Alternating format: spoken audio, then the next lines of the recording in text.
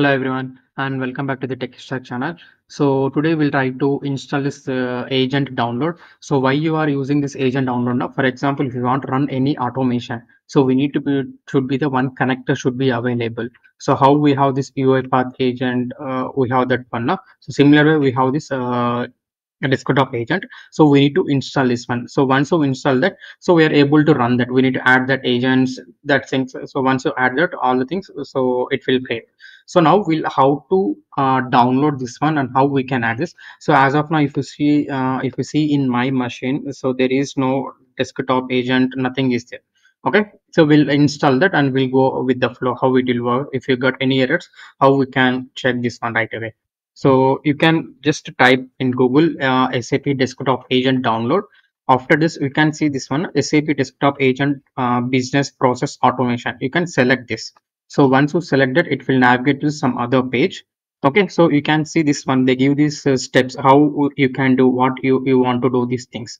After this, you can just you can click this uh, one link okay once you click on that link so you can able to see come uh, some couple of the things is available here okay just go go back to that thing and now what uh, it's saying so this is already we added this one. This is the done. So in first tutorial we added this sap build process automation. So now we are in this page. So we just click this.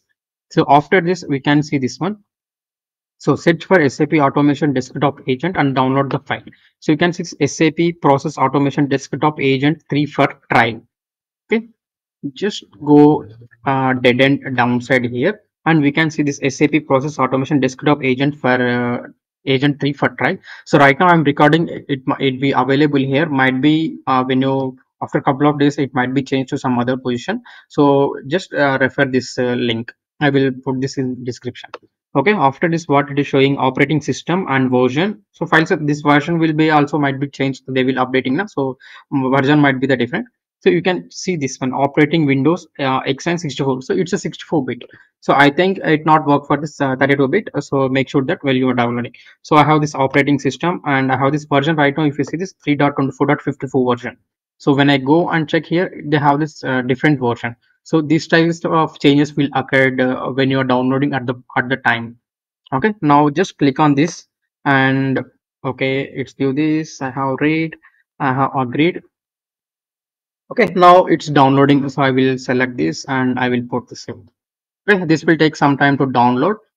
Okay after this what they given. So run the download file and install the agent into the local machine. So once it is downloaded i need to go that particular file and i will run this one.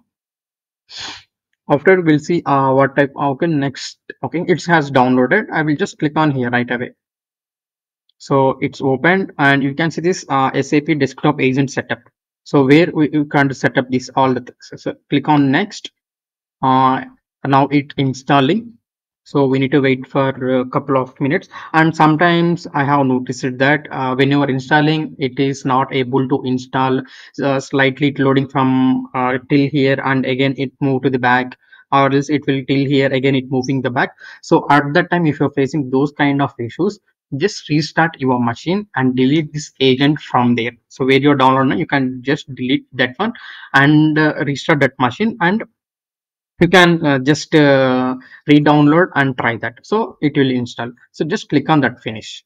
And it's asking sap build automation a chrome extension should be added. Just enable the extension.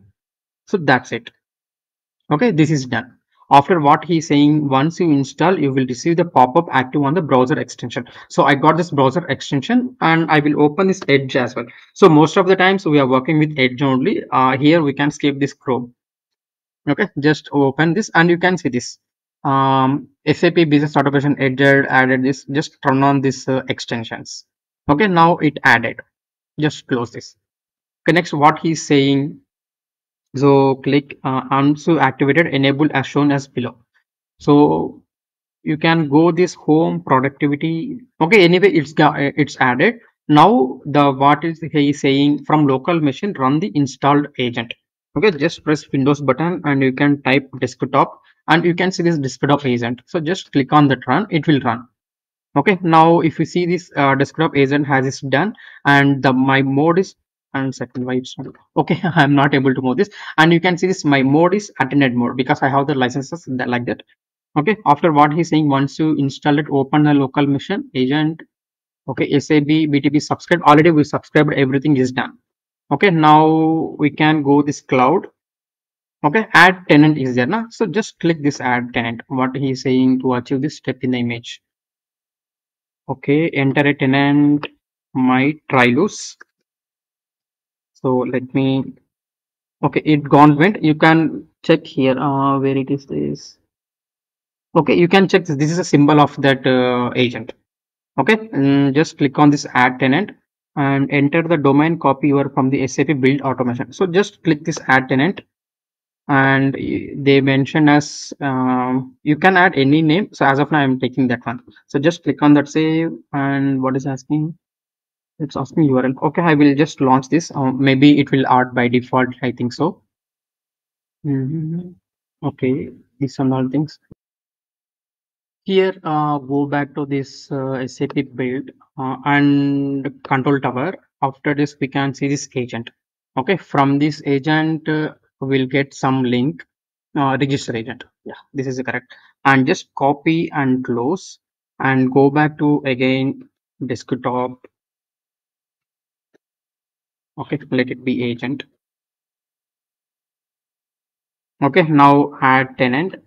I'm giving this test tenant. Okay test that's fine. And already i copied the domain now so just i'm updating this domain. Just click on that save. It will okay. Okay now it's validated and it's add this test tenant. Okay now go to home uh, the version right now it has in your machine uh, in in this machine in this particular machine we can see this version has been installed. So if you want change you can go and change the there. Automatically it will reflect. That is a different thing. And this is a home uh, what type of details are available. So this and all warnings. Uh, okay why this warning means uh, just now we tried now so it got failed. That is the one warning. And after this information we can see this uh, agent started. Agent is starting. So those kind of information is available here. Now again back to home and okay these are all done. Now when you go information agent details okay this is the agent details and you can see this the my machines all under. And settings um, this have this so we have the multiple uh, kind of modes. Uh, you can activate it as per this. So as of now we are completely go with this uh, attended mode only. And this is the things history uh, what happened the events when you run jobs. For example if you run any automations we can able to see this here and reports so what uh, some kind of reports are available you can go. And when you check here so this is my tenant. If you want add another tenant you can just give this uh, tech stack and giving the same url we'll try that. Okay uh, so when you check this this domain is already available. So just cancel it and i will remove and uh, let me edit. Okay i will change this to tech stack. If you want you can uh, add and edit these names okay now this is a way how we can add this uh, tenant. So now just click here. The same thing is available. So now we added tenant this one. So next class i mean next session we try to run that automation. Previously when you're running that we got error now we'll try that run and we'll check what the things are need to be enabled. If it is working fine then okay. If not we'll check that as well. If you enjoyed this video and want to see more like it Make sure hit that like button, share with your friends, subscribe to our channel and don't forget to turn off notifications so you never miss an upload.